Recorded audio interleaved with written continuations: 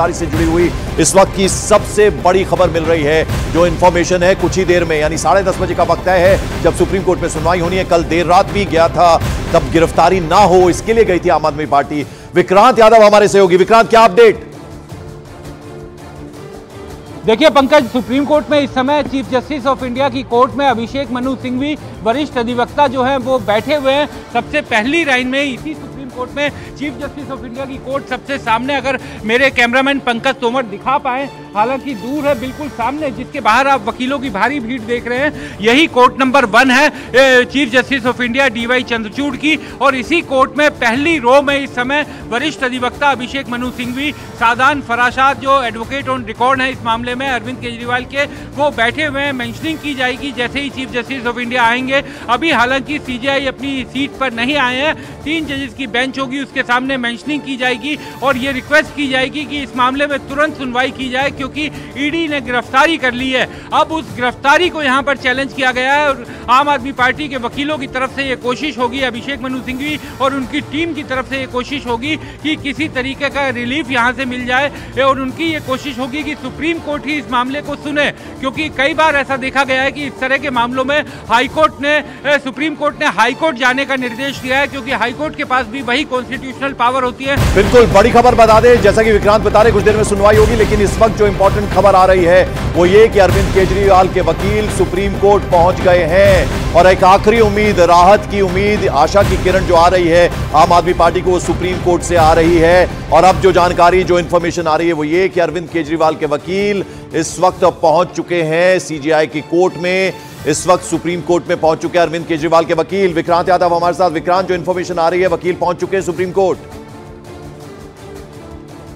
देखिए, बिल्कुल Pankaj advocate eight इस मामले में वरिष्ठ अधिवक्ता अभिषेक मनु सिंघवी, अरविंद केजरीवाल और आम आदमी से जुड़े हुए कई मामलों में पेश हुए हैं। यहाँ पर चीफ जस्टिस ऑफ़ इंडिया की कोर्ट में, जो सुप्रीम कोर्ट के गेट में सबसे पहली कोर्ट है, सामने ही आपको दिखाई देगी। वहाँ पर वकीलों की भारी भीड़ भी इस समय लगी हुई है। वहाँ पर अभिषेक मनु सिंघवी अपने टीम के तमाम जूनियर्स के साथ पहुँचे हुए हैं। सादान फराशात जो एडवोकेट ऑन रिकॉर्ड हैं, अरविंद केजरीवाल के, वो भी यहाँ पर बैठे हुए हैं। और जैसे ही चीफ जस्टिस कोर्ट में आएँगे, तुरंत मैंशनिंग काउंसलिंग की जाएगी। हमें जो जानकारी मिल रही है कि आम आदमी पार्टी की तरफ़ से अरविंद केजरीवाल की तरफ़ से अभिषेक मनु सिंघवी ही जिरह करेंगे। वही अदालत के सामने ये कन्विंस करने की कोशिश करेंगे कि अरविंद केजरीवाल की जो गिरफ्तारी हुई है वो वो गिरफ्तारी गलत हुई है उसको उसको गैर कानूनी ठहराने की कोशिश की जाएगी। यहाँ पर आम आदमी पार्टी के वकीलों के ज़रिए और अब ये कोर्ट के ऊपर होगा कि किस तरीके से इस मामले को कोर्ट देखती है क्योंकि कई बार हमने देखा है कि जब इस तरीके की हाई प्रोफ़ाइल गिरफ्तारियाँ होती हैं।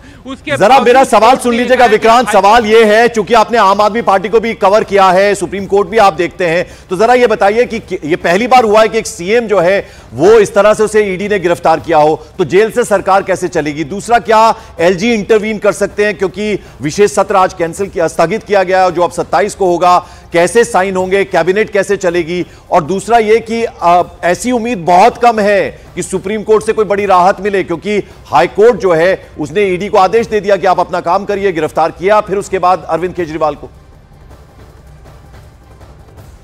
देखिए ईडी को कोई आदेश पंकज हाईकोर्ट ने नहीं दिया था। हाईकोर्ट में केवल अरविंद केजरीवाल इंट्रीम रिलीफ लेने गए थे।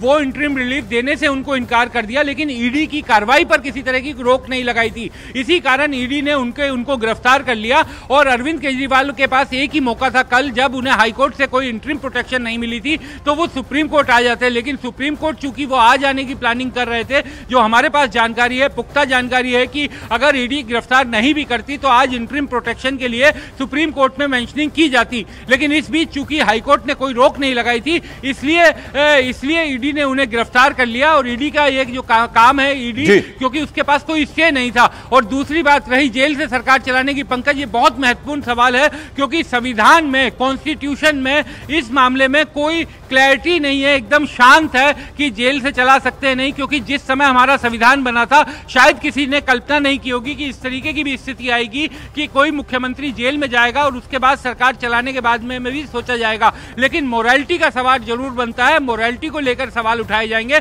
और दूसरी दिक्कत आएगी टेक्निकलिटी क्योंकि आपकी पर्सनल राइट जो होते हैं वो सस्पेंड हो जाते हैं। आप तो निगाह बनाए रखिए क्योंकि इस वक्त पूरे देश की निगाह इस बात पर है कि सुप्रीम कोर्ट से अरविंद केजरीवाल की गिरफ्तारी को लेकर क्या आदेश आता है। हम आपके पास वापस लौटेंगे। दिल्ली में शराब घोटाला मामले में अरविंद केजरीवाल की गिरफ्तारी के बाद पक्ष और विपक्ष के बीच आरोप प्रत्यारोप का सिलसिला जारी है, दौर जारी आम आदमी पार्टी के नेता अरविंद केजरीवाल की गिरफ्तारी को बीजेपी की साजिश करार रहे हैं तो वहीं बीजेपी ने इसे आम आदमी पार्टी के भ्रष्टाचार पर कार्रवाई करार दिया है।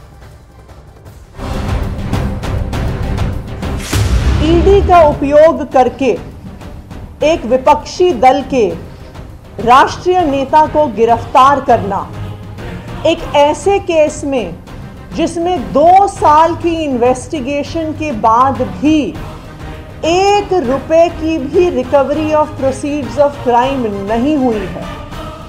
रात को अंधेरे में उनके घर में ईडी के लोग घुस जाएँ और इस तरीके से उनको गिरफ़्तार करके ले जाएँ। आज ये बात सच हो गई कि अरविंद केजरीवाल जो दुनिया को और देश को कह रहे थे वो सच था। जब आप नौ समन्स का निरादर करते हैं तो आप विवश करते हैं कि ईडी आपके घर आए पूछताछ करे और आपको कस्टोडियल इंटेरोगेशन के लिए ले जाए। एक ऐसे केस में गिरफ़्तार करना जहाँ पर आज तक ईडी कोर्ट्स के सामने कोई भी सबूत नहीं रख पाई है। अनथराइज कॉलोनी की जनता दिल्ली में पानी के लिए साफ़ पानी के लिए तरसती तड़पती हुई जनता आखिर उसकी हाय तो लगनी थी। गिरफ्तारी सुनिश्चित थी। जिस प्रकार का उन्होंने रवैया अपनाया और कल हाईकोर्ट ने जो गिरफ्तारी पर रोक लगाने से इनकार किया उसके बाद यह स्पष्ट था इस भ्रष्टाचार के तार अरविंद केजरीवाल के घर तक जाते हैं। ये भारत के लोकतंत्र के इतिहास में पहली बार हुआ है कि लोकसभा की चुनाव की घोषणा के बाद एक नेशनल पार्टी के नेशनल कन्वीनर को गिरफ़्तार किया गया। लोकतंत्र के लिए एजेंसीज का मिसयूज जो है वो शर्मनाक है। कोई सवाल जवाब नहीं थे इनके पास।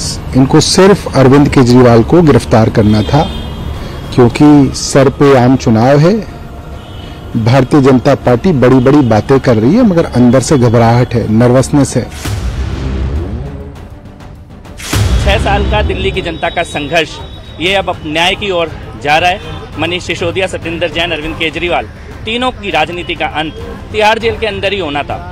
कि अरविंद केजरीवाल जी की गिरफ्तारी भारतीय जनता पार्टी की एक राजनीतिक साजिश है।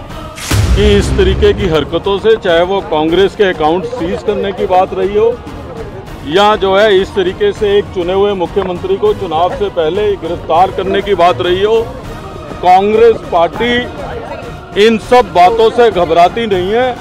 इस पूरी की पूरी सिचुएशन के जिम्मेदार केवल और केवल माननीय मुख्यमंत्री अरविंद केजरीवाल जी स्वयं हैं। दिल्ली की जनता को न्याय मिला है। ये भ्रष्टाचार करेंगे और आप जवाब नहीं देंगे और कार्रवाई में भाग नहीं लेंगे। ये तो नहीं चलेगा ना?